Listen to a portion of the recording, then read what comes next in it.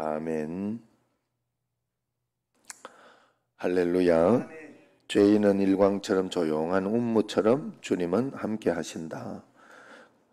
구스가 아수르에 맞서기 위해서 유다에 사절을 보내지만은 하나님은 그들을 돌려보내라고 하십니다. 하나님이 이미 유다를 위해 일하고 계시기 때문이다.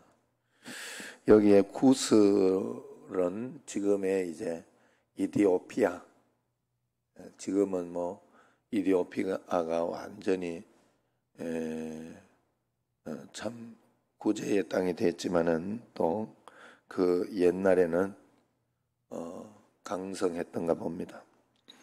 그래서 어, 그 구수의 사절 사절들이 올 것인데 그들을 돌려보내라. 그들과도 타협하지 마라. 이렇게 이야기합니다. 애굽을 장악한 어, 구스는 아수르를 저지하기 위해 유다에게 참전을 이제 요청하는 사절을 보내는 거죠.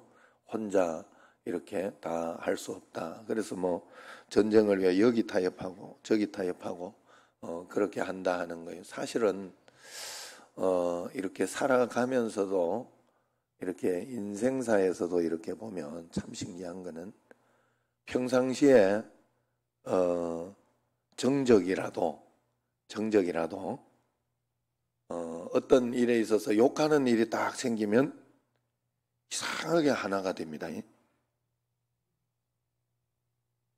다른 데는 이렇게 용서가 잘 안 되는데 안 그래요? 한번 잘 생각해 보세요. 예. 이 정말 하나님 앞에서는 진실하게 이렇게 믿음을 가져야 돼요. 어, 좋은 일들이나 막 이런 일들은 좀 별로 어? 평상시에는 이제 저, 저 양반이 어? 나한테 했던 게 기분 나쁘다 이렇게 했는데 에, 욕할 일이 이렇게 있다. 이상학 집사님이 뭐 어쨌다 이런 게 있으면 어, 싹 합쳐요. 이게 합쳐.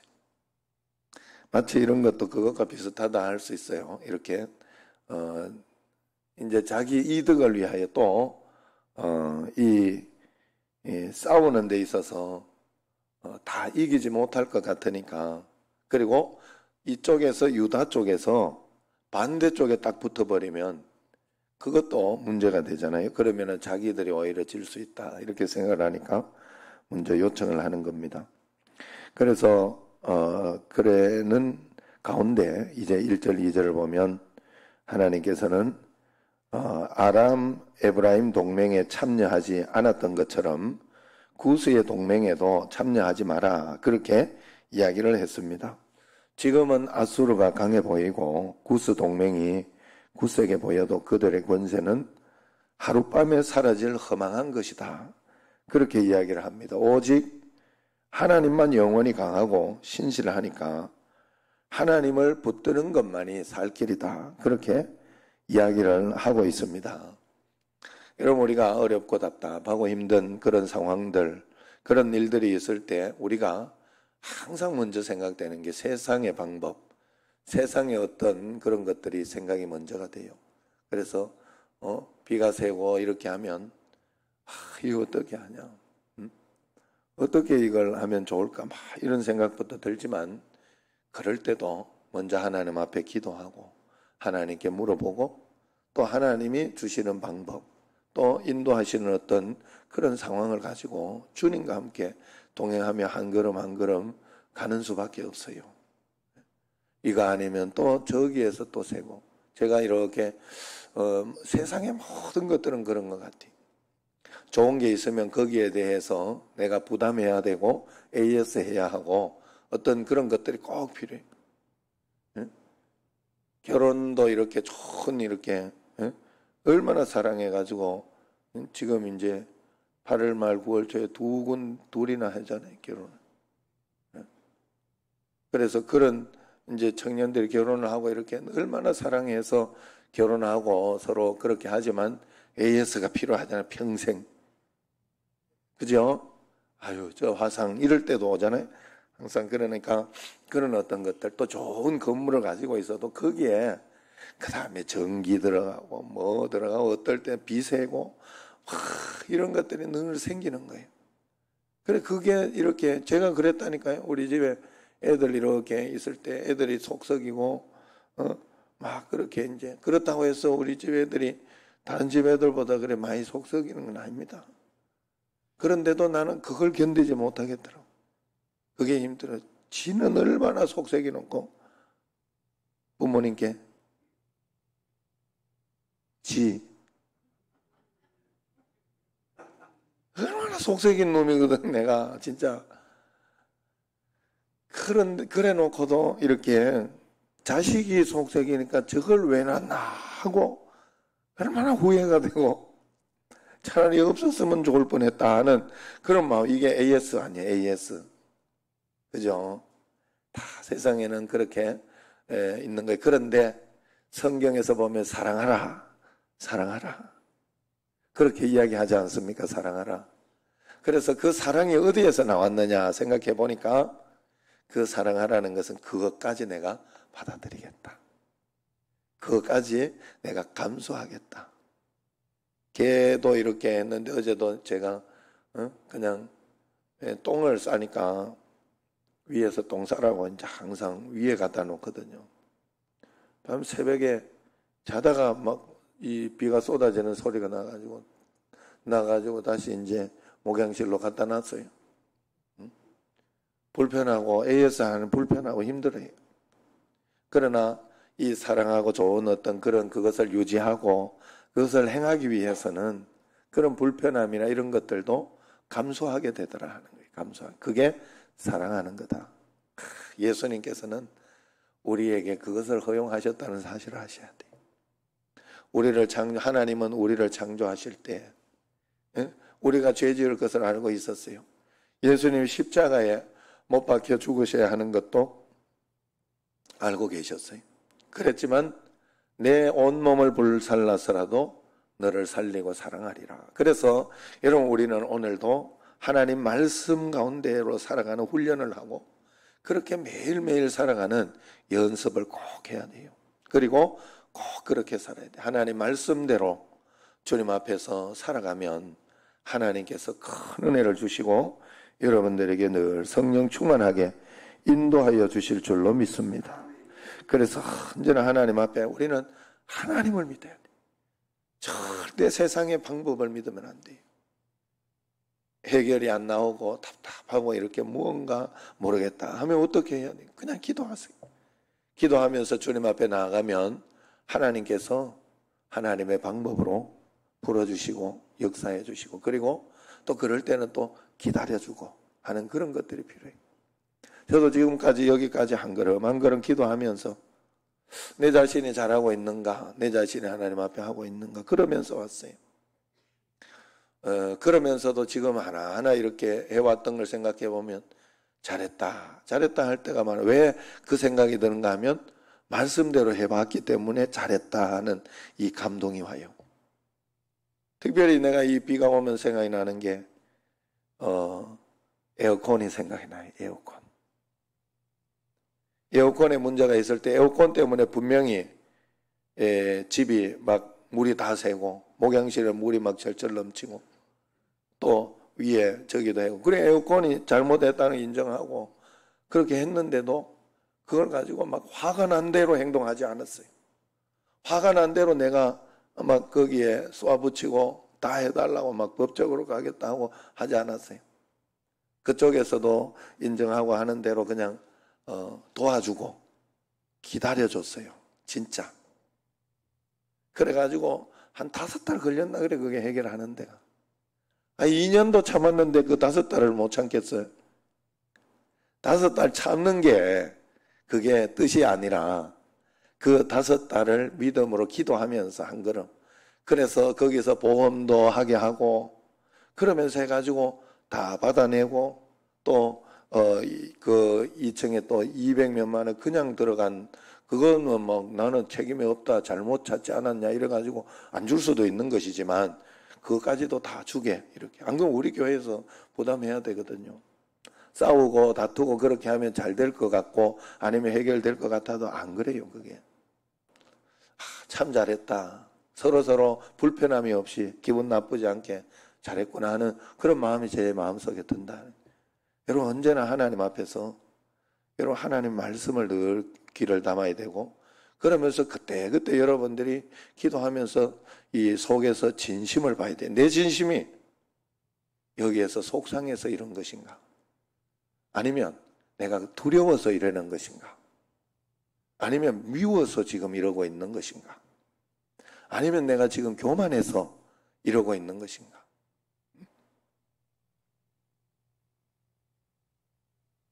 김홍열 집사님이 오늘 새벽에 지금 드리고 있어요? 모르지.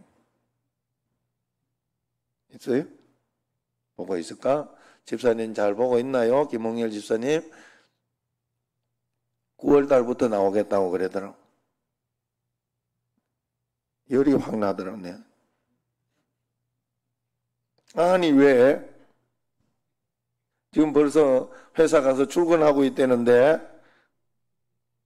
그 얼굴 회사는 보여주고 왜 교회는 또 이렇게, 그래? 내가 이러면서 그랬는데, 그런다고 되는 일이 아니고, 잘 생각해 봐요. 내가, 아, 안 나오는 건 내 욕심이겠지. 욕심. 어떻게 하겠어? 기도하고, 또, 어, 영상이라도 잘 드리라고 이야기해야 되고 그러면서 가야지 뭐 어떻게 하겠어요?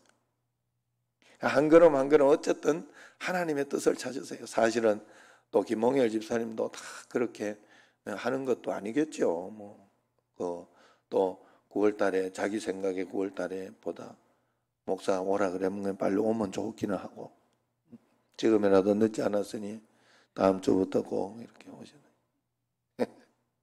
그래야지. 그래서 하여튼 하나님 앞에서 여러분들이 이렇게 뭐 어? 세상에는 어, 얼굴 좀 보여줘도 예배 잘 드리는 게 더 축복이다 하는 그런 마음도 가지고 그러면서 그냥 한 걸음 한 걸음 하나님께 나가야 돼요. 별 수가 없어요. 하나님 앞에서.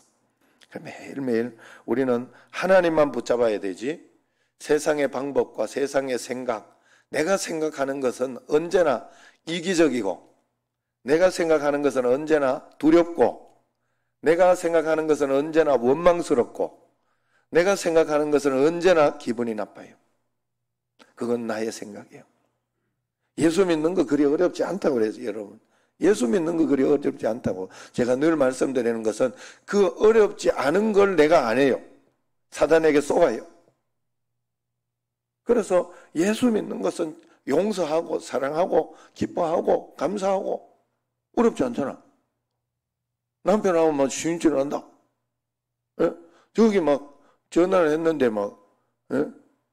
차를 가지고 막 이렇게 해도 해도 너무한 거 아닌 이렇게 생각이 들어도 그때 참으시라고 이렇게 하면 참아야 되는 게 뜻이요 아니면 그, 그래도 해도 해도 너무하니까 내가 한번 성질 부리는 게 주의 뜻이요 집사님 한번 생각을 해봐 뭐 뭐가 뜻 쉽잖아 뭐지요?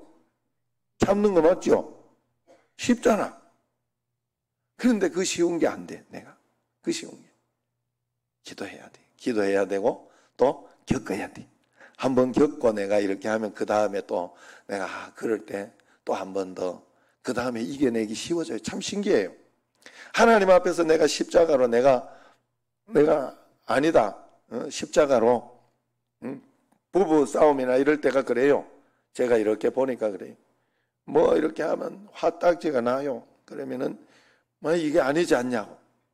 이렇게 해가지고 소리 한번 지르다가도 십자가를 알고 그러다가 주여 내가 참습니다. 주여 십자가로 갑니다 하고 한 번 딱 끊어주고 그게 한 번, 두 번이 되면요. 그 다음에는 이겨요. 그 다음엔 그거 가지고 싸우지 않아요. 절대.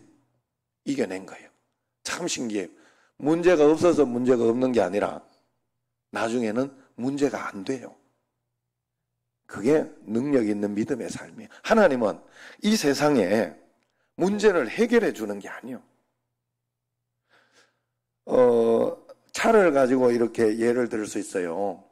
차를 이렇게 하나님은 차를 주시고 은혜를 주시고 하는 그런 것은 할 수 있지만은 늘 차를 태워서 이렇게 어디 뭐 이제 시장을 간다, 아내가 시장을 간다, 뭐 이렇게 할 때 차를 태워서 어, 데리고 왔다 갔다 해주는 것도 좋지만 하나님은 운전을 가르쳐 주셔요. 우리 삶의 운전을 가르쳐 주셔. 네가 직접 왔다 갔다 해라. 하도록 그렇게 하시오. 우리 삶을 너가 능력 있게 살아갈 수 있다. 부부가 행복하게 살아갈 수 있다. 믿음으로 하나님의 방법대로 가면 너는 복되게 살아갈 수 있다. 네가 살아가 봐. 하고 우리에게 그렇게 하려고 하면 어떨 때는 영적으로 강해지기도 하고 영적 근육도 생겨야 되고 그런 게 해야 되기 때문에 하나님 인도하고 있다. 하나님만 붙드시기를 바랍니다. 세상 붙들지 말고 하나님만 붙든다는 게 뭘까요? 하나님만 붙든다는 게. 다 하나님만 붙든다고 생각해요. 다 하나님만 붙든. 하나님 붙든다는 게 기도하는 거예요. 하나님 붙든다는 게 말씀 붙는 거고 하나님 붙든다는 게 하나님 말씀대로 살아보는 거예요. 말씀대로 들으면서 한 걸음 한 걸음. 매일매일 주의 말씀대로 꼭 살아야 돼. 오늘 여기 구스 여기 하지 않는 것처럼 그렇게 해야 된다. 그래서 3절을 보면 깃발을 세워라.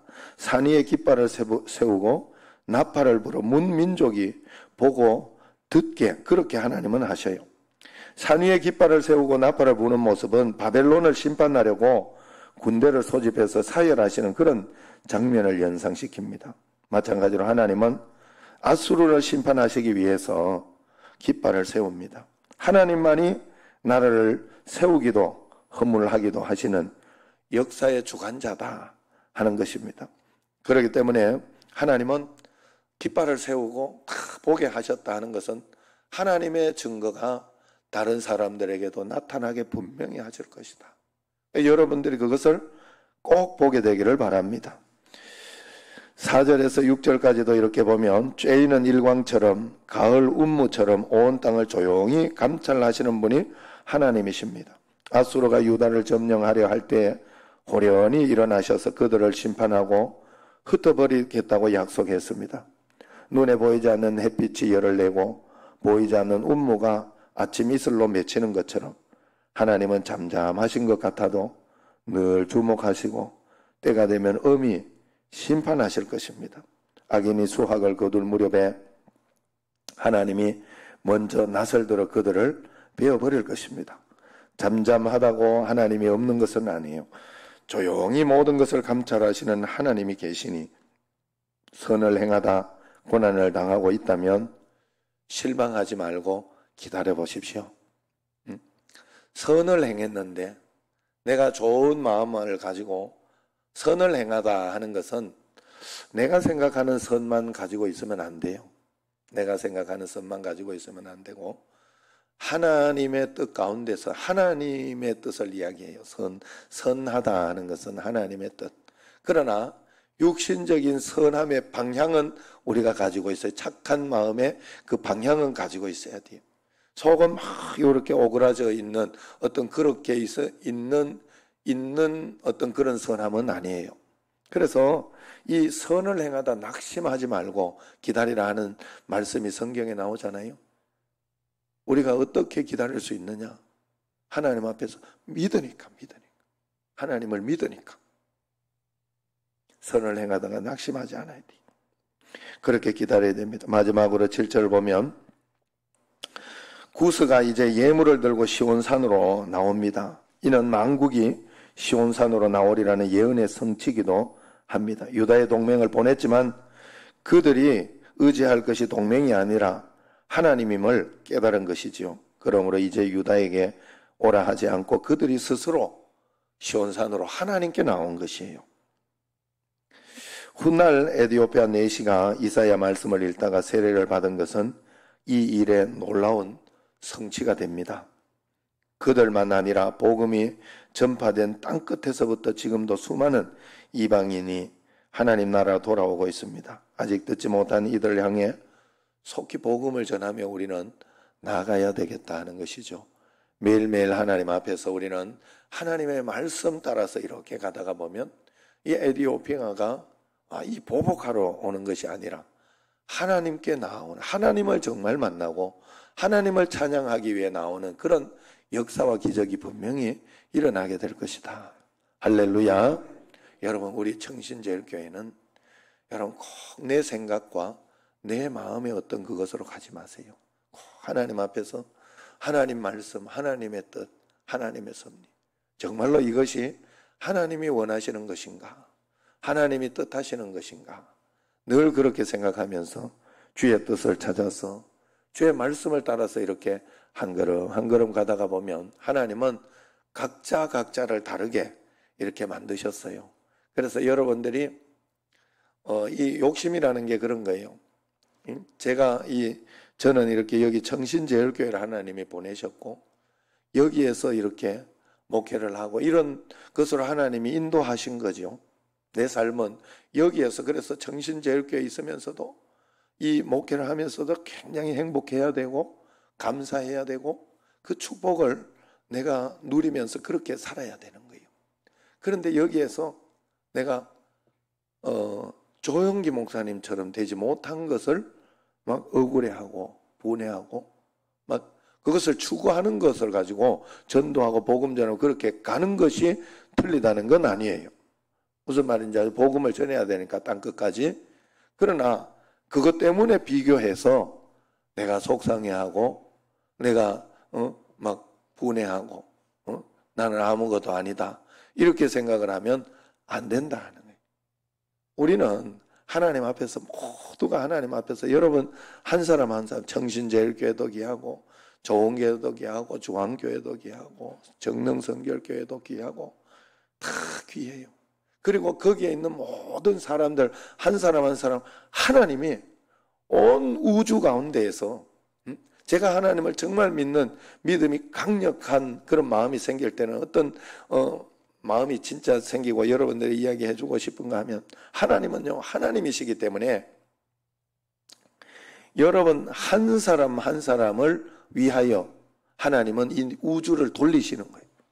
하나님은 그만한 능력이 있는 나를 위하여 온 우주를 돌리시다니 나를 위하여 예수님이 죽으셨다니 나 때문에 죽은 거예요. 그걸 깨달아야 돼요. 하나님 앞에서. 나 때문에. 내가 얼마나 귀하게 하나님이 생각하시는지 몰라요. 안 귀하고 덜 귀하고 이런 게 없어요. 여러분, 피아노가 귀해요. 신디가 귀해요. 기타가 더 귀해요. 드럼이 더 귀해. 뭐가 더 귀해? 속으로 피아노 이러면 진짜 웃기는. 속으로 드럼이지 이렇게 생각하면 진짜 다 각자 각자 고유의 개성이 있다 이 말이에요. 내 말은 각자 각자 자기가 내야 할 음색이 있다 이 말이에요.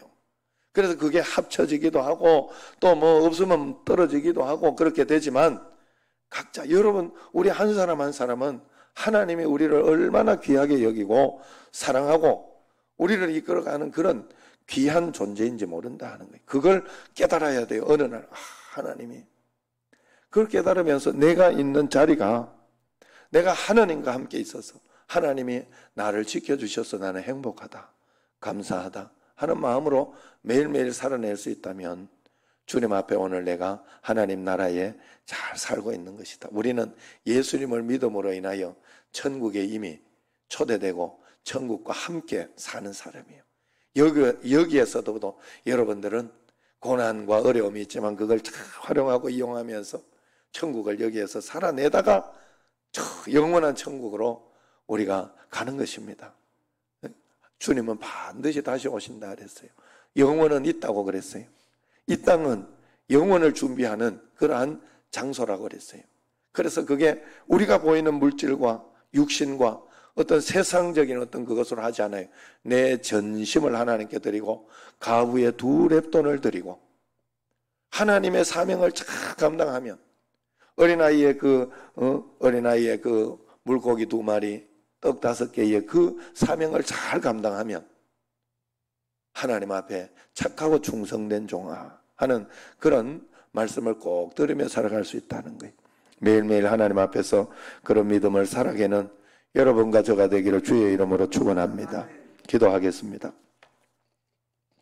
하나님 아버지 저희에게 주신 모든 것들은 귀하고 감사하고 주님께 영광 돌릴 일인 줄로 믿사오니 매일매일 하나님 은혜 가운데 살아가게 하시고 복되게 하여 주시고 성령 충만할 수 있도록 꼭 도와주시고 역사하여 주옵소서.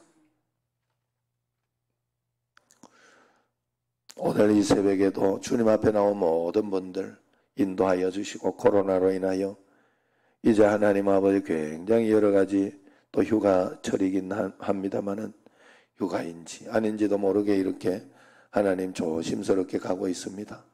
이 모든 것 가운데 하나님 축복하시고 그럼에도 불구하고 이런 가운데도 하나님의 기뻐하심을 믿음으로 기도로 찾아가는 저희들이 꼭 되게 하여 주옵소서. 예수님 이름으로 감사하며 기도드리옵나이다. 아멘. 하늘에 계신 우리 아버지, 아버지의 이름을 거룩하게 하시며 아버지의 나라가 오게 하시며 아버지의 뜻이 하늘에서와 같이 땅에서도 이루어지게 하소서. 오늘 우리에게 일용한 양식을 주시고 우리가 우리에게 잘못한 사람을 용서하여 준 것 같이 우리 죄를 용서하여 주시고 우리를 시험에 빠지지 않게 하시고 악에서 구하소서 나라와 권능과 영광이 영원히 아버지의 것입니다. 아멘.